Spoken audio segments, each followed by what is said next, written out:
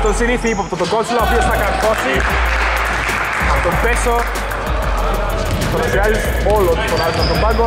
Κότσουλας θα καρφώσει από μένει που θέση στη μέση απόσταση, θα πάρει ίδιο στο επιθετικό rebound. Θα καρφώσει ανάμεσα σε τέσσερις παίκτες, είναι απίστευτο.